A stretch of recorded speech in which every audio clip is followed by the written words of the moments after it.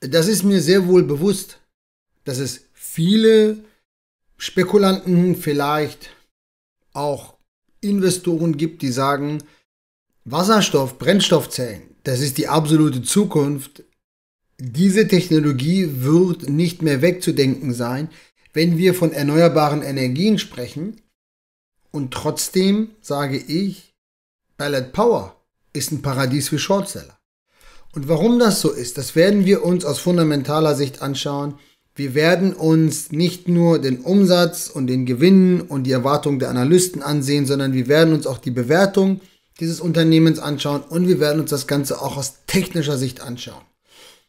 Nun ist es so, dass ich schon einmal im Jahr 2019, als noch die Cannabis-Aktien der absolute Hype waren, gezeigt habe, warum aus meiner Sicht Aurora Cannabis, was damals in aller Munde war, eher eine größere Wahrscheinlichkeit hat, zunächst in Richtung der 200-Wochen-Linie runterzukommen, also in Richtung 50 Dollar. Damals notierte die Aktie knapp unterhalb von 100 Dollar.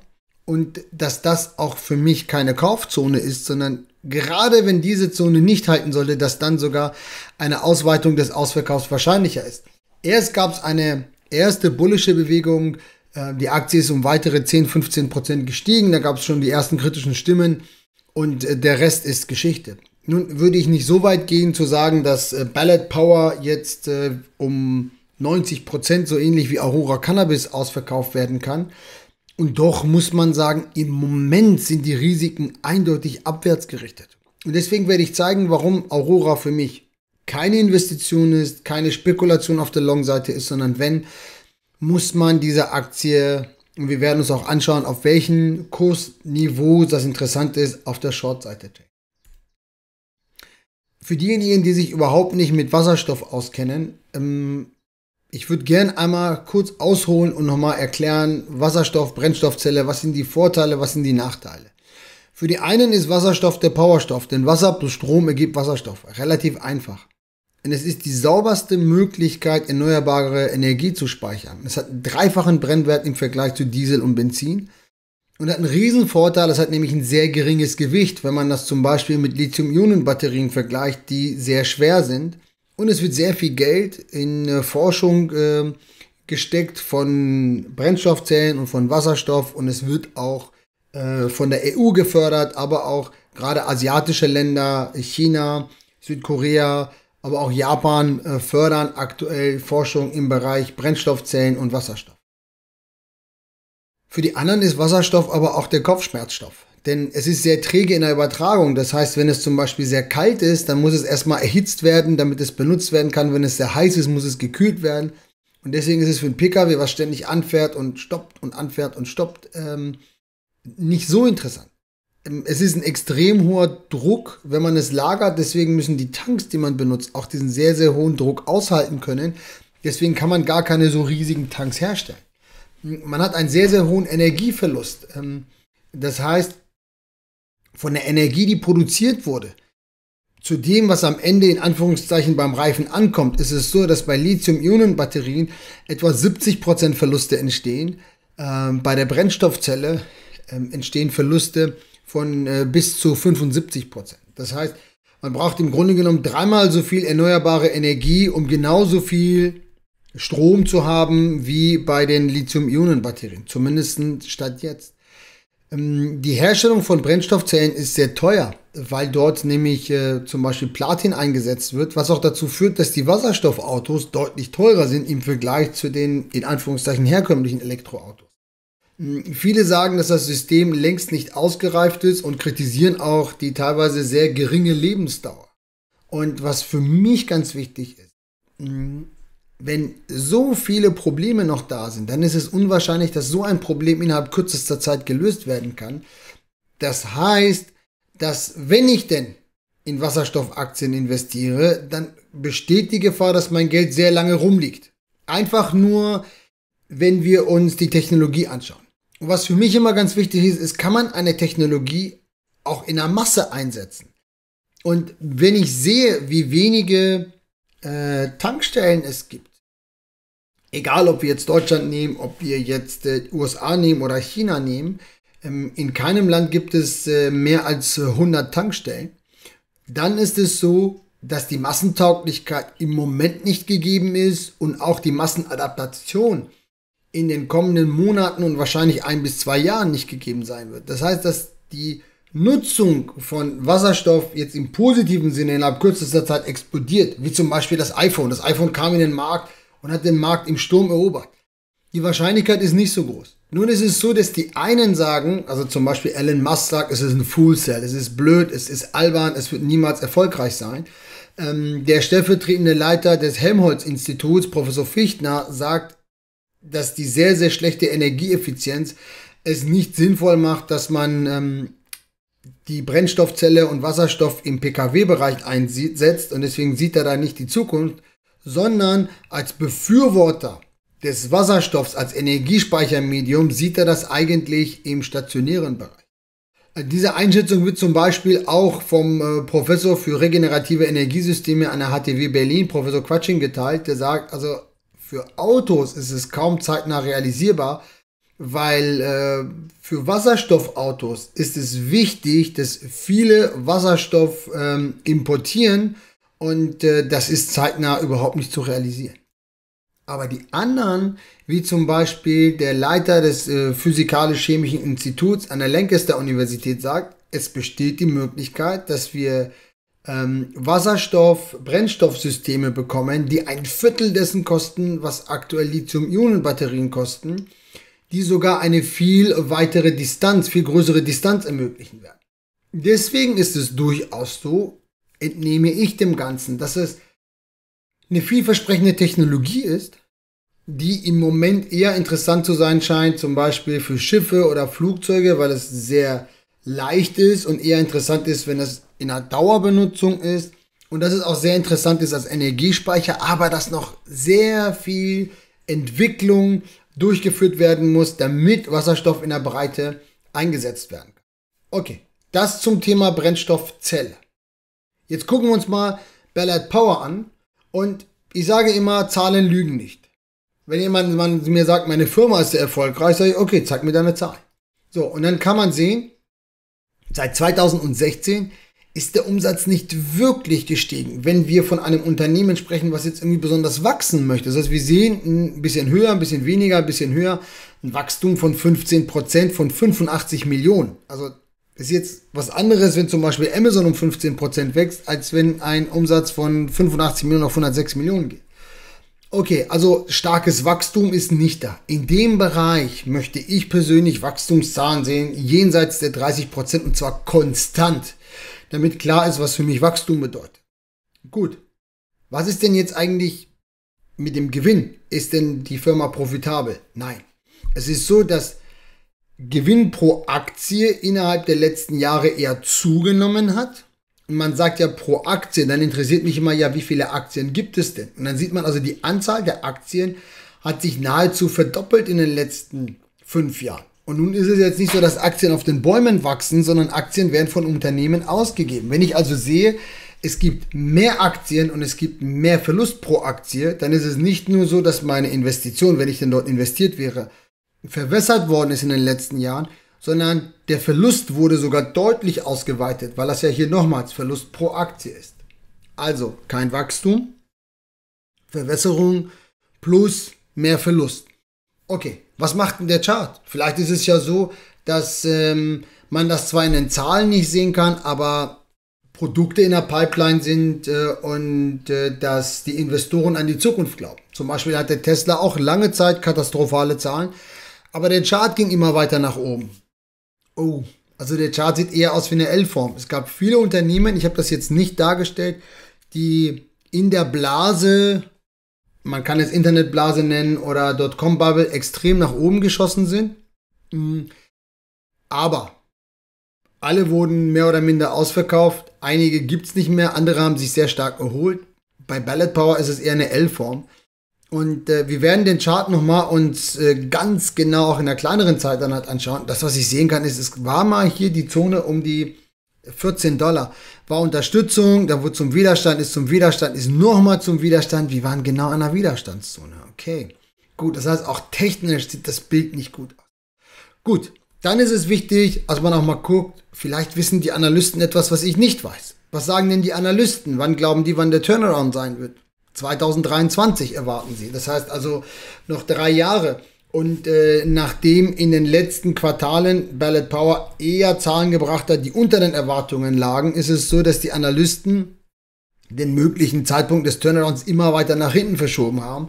Deswegen muss es nicht so sein, dass 2023 der Turnaround erreicht wird, sondern das kann sogar noch etwas später sein.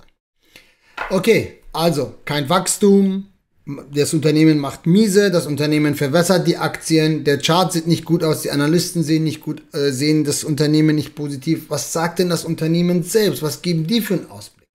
Wenn ich mir die letzten Quartalszahlen angucke, dann gibt das Unternehmen keinen Ausblick. Die sagen aufgrund des frühen Stadiums ähm, des Wasserstoff-Brennstoffzellmarktes und dessen Entwicklung können wir keine spezifische äh, keinen spezifischen, Verzeihung, Finanzausblick geben. Puh, okay. Das heißt, ich soll in eine Aktie investieren, mh, die vom Unternehmen selbst nicht wirklich einen Ausblick hat.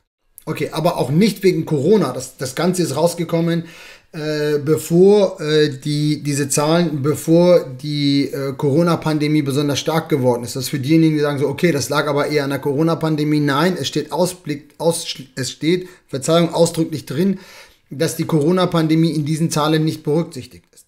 Okay, ohne die Berücksichtigung erwarten Sie aber boah, so geschätzten Umsatz von 130 Millionen. Wir haben gesehen, die haben zuletzt Umsatz gemacht von etwa 105 Millionen US-Dollar. Dann interessiert mich, okay, wie kommt ihr denn auf die 130 Millionen? Wenn Sie Großaufträge haben, müssen Sie es ja auf der Seite angegeben haben. Also gehe ich auf die Seite von Ballot Power, war ich ja schon vorher und gucke mir mal so die neuesten Releases an und sehe, der letzte Großauftrag ist vom Dezember 2019.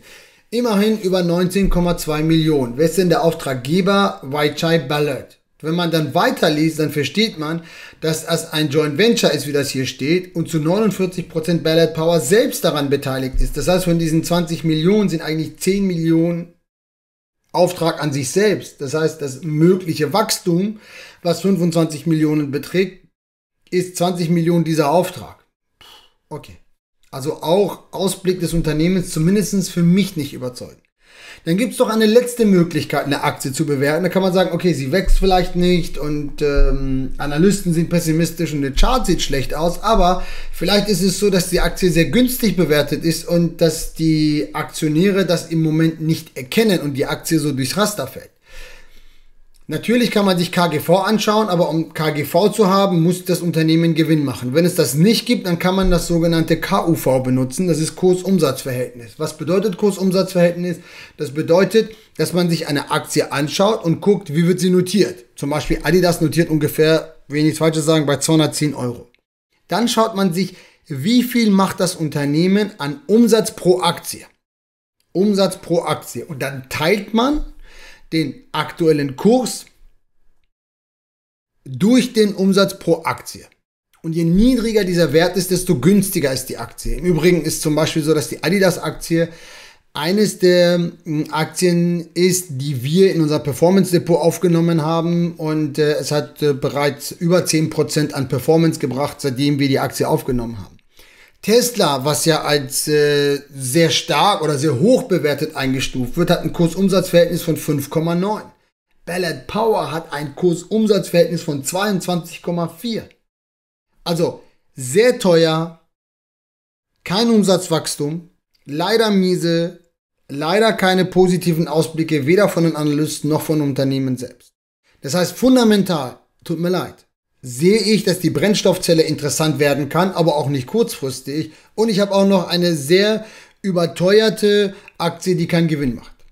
Wenn ihr übrigens sagt, ich finde das richtig klasse, wie der fundamental an die Aktie rangeht, denn es ist ja im Moment en vogue, dass man sich vor die Kamera setzt und ein bisschen locker nett über ein Unternehmen sich unterhält, aber nicht wirklich in die Tiefe geht. Wenn ihr sagt, das finde ich richtig gut, dann lade ich euch herzlich ein, informiert euch über unser Performance Depot. Das ist ein Depot, in dem wir sehr langfristig in Aktien investieren.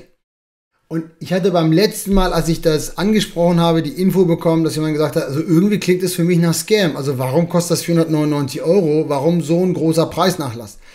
Aus einem ganz einfachen Grund. Ich bin nicht der Typ, der, wenn er investiert, 100% seines Kapitals einsetzt. Ich halte das für falsch. Deswegen möchte ich mich auch nicht am DAX messen lassen.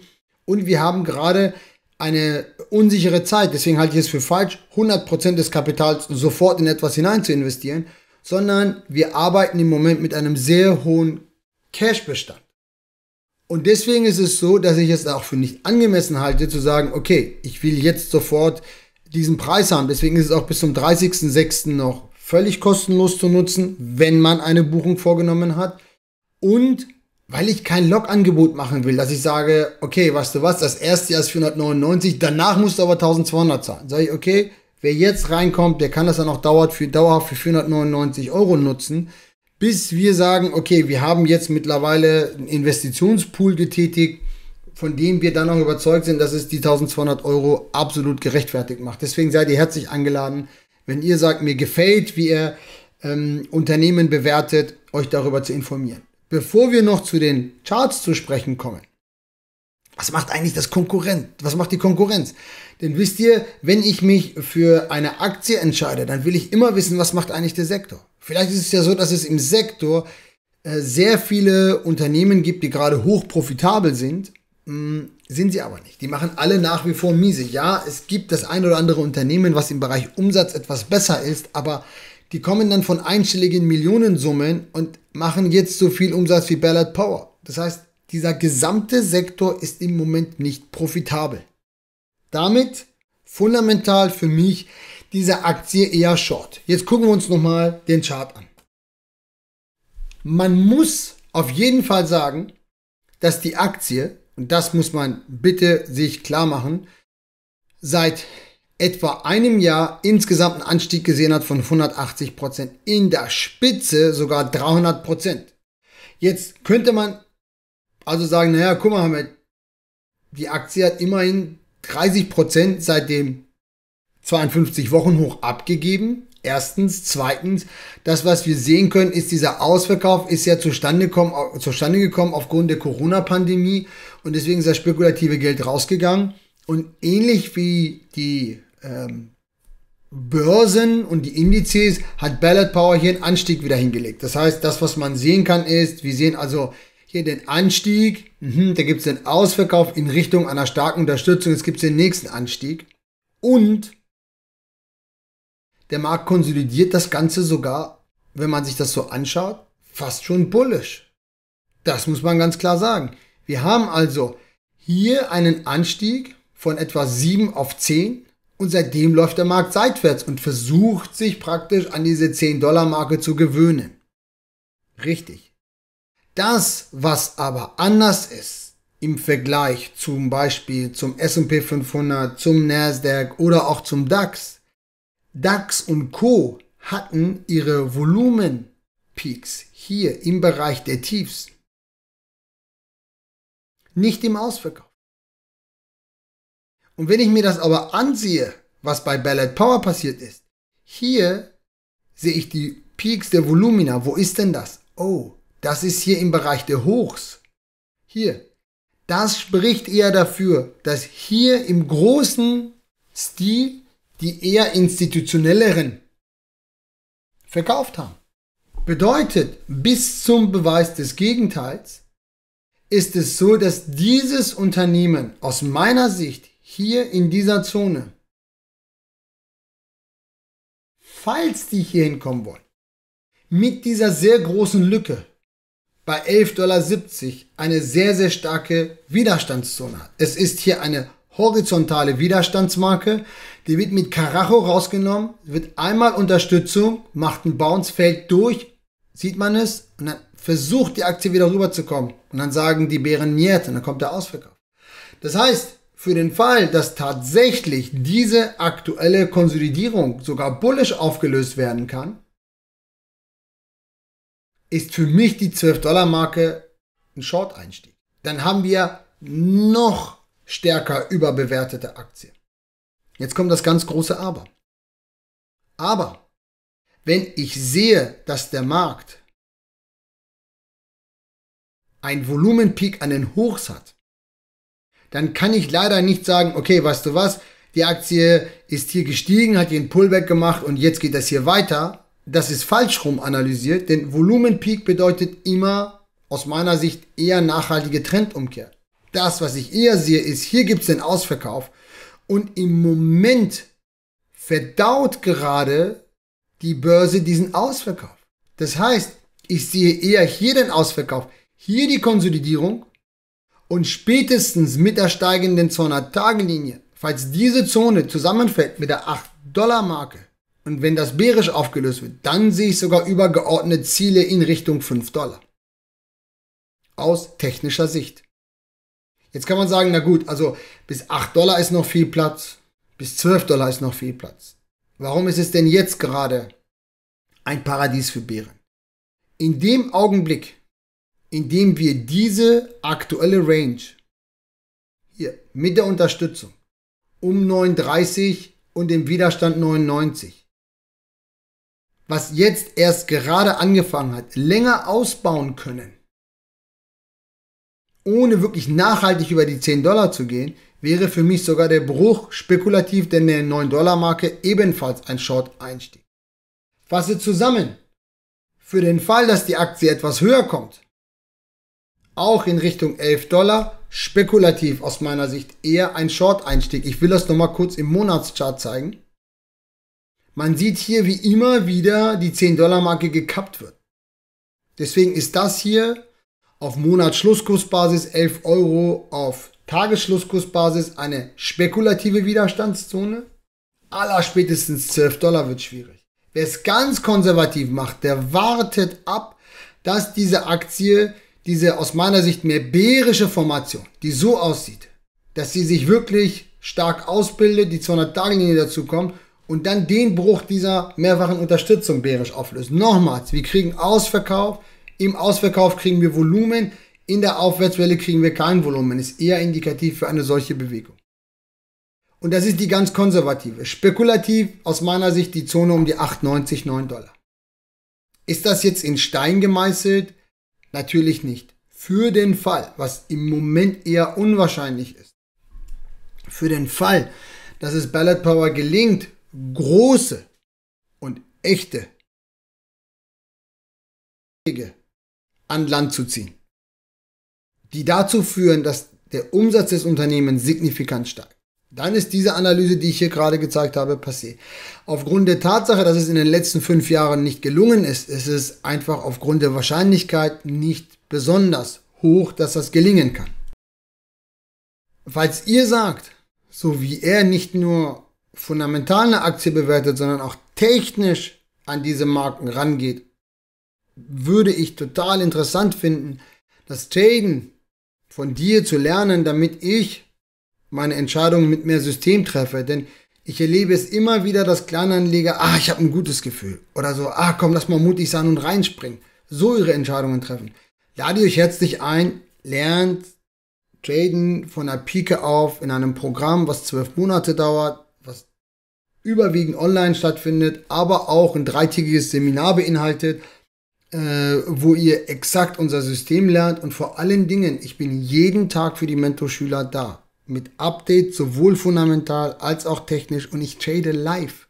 Das heißt, es ist nicht so, dass ich nur ein theoretisches System beibringe, sondern ihr erlebt mich tagtäglich, indem ich ein Konto trade, wo wir in einem Jahr und acht Monaten 30% ertraden konnten und das geht nicht darum, dass man jetzt in der Spitze 30% hat, sondern die Konstanz, mit der wir arbeiten.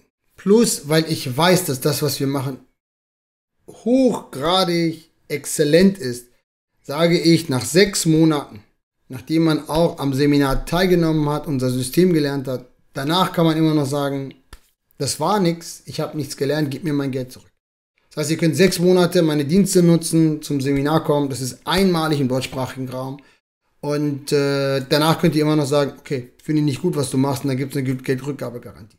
In diesem Sinne, wenn euch das interessiert, informiert euch sehr gerne, würde ich mich freuen.